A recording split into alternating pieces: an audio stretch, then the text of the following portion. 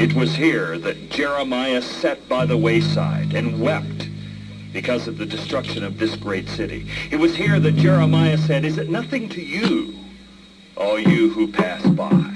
Don't you care that my city, God's city, has been destroyed? Well, it was to this city that Ezra, Nehemiah, and Zerubbabel and the others returned. You see, this city figures more prominently in the Old Testament than any other city. But thing is true in the New Testament. While much of Jesus' ministry took place to the north of here in Galilee, nonetheless, the last week of his life was right here in Jerusalem. It was here that he was raised upon a cross. It was here that he died. It was here that he was crucified. And here that he paid the penalty for the sins of the world. Yes, this is the town, Jerusalem. This more than any other town that is associated with the Lord Jesus. Because here he died.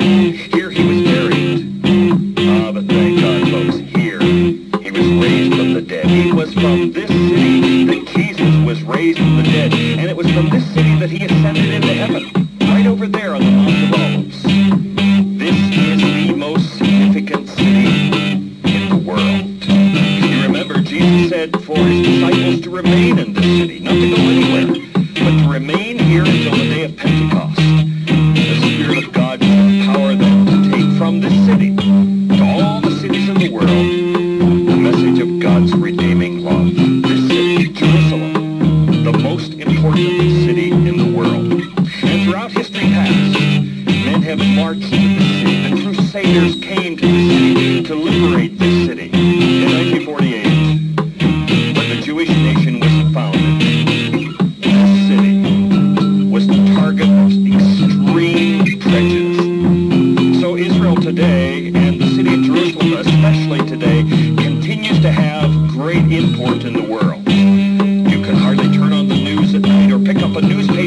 Morning and not read something about this city, Jerusalem. So Jerusalem in the past has been a very, very important city. Jerusalem today, in the present, is a very, very important city. But what about Jerusalem in prophecy?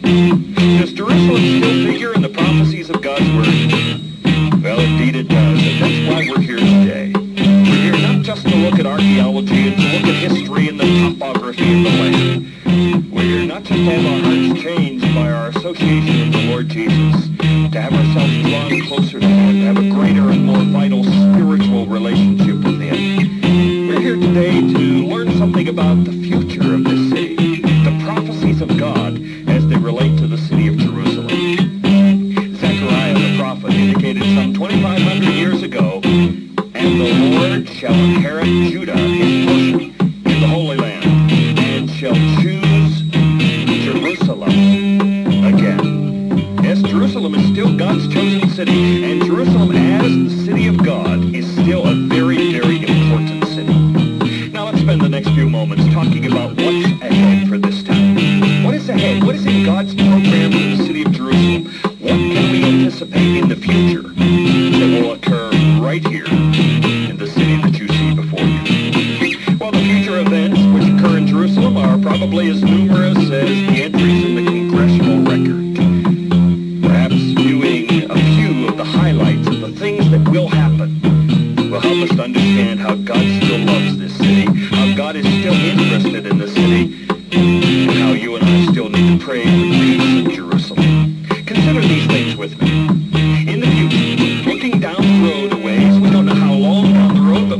the road a ways, we know that Jerusalem is the capital, the blossoming capital of blossoming Israel. Jesus gave the parable of the fig tree, Matthew chapter 24. And he gave that parable to illustrate the return of the Jew to his land, to Israel. This is reminiscent of the vision of Ezekiel in Ezekiel 37, where the Lord God said, Behold, I will take the children of Israel from among the nations to which they are gone,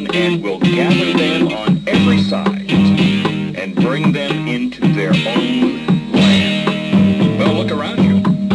We see that happening even today. The Jews are back in their land, but unfortunately they're back in this land in unbelief. Many Jewish people today living in Israel are agnostics. They do not believe you can know that there is a God at all. And the unfortunate thing is God is fulfilling his prophecies to them, but they're not fulfilling their responsibilities to him. Jerusalem, however, is the blossoming capital of a blossoming nation, the nation Israel. Jerusalem is and will continue to be the capital of a land to which the Jews are returning in record numbers.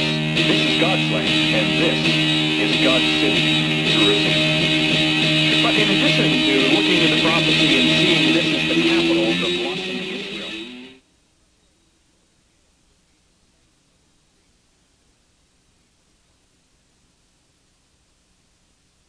Jerusalem once again will be the site of the great temple of the people of God.